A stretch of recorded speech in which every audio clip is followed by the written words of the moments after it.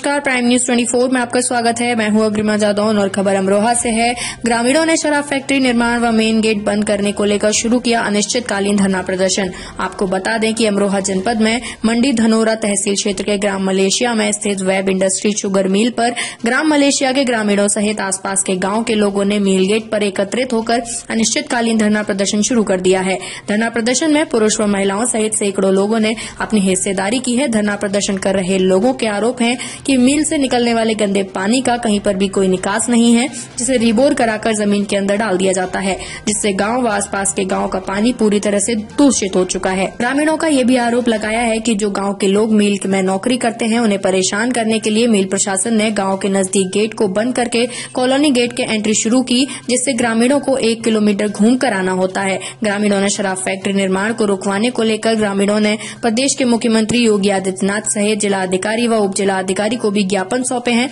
परंतु अभी तक कोई कार्यवाही नहीं हुई है। ग्रामीणों का कहना है कि जब तक उनकी मांगे पूरी नहीं होती हैं, वह धरना प्रदर्शन स्थल से नहीं उठेंगे। सुरक्षा को लेकर पुलिस बल तैनात है। प्राइम न्यूज़ ट्वेंटी के लिए अमरोहा से काविंद्र सिंह की रिपोर्ट।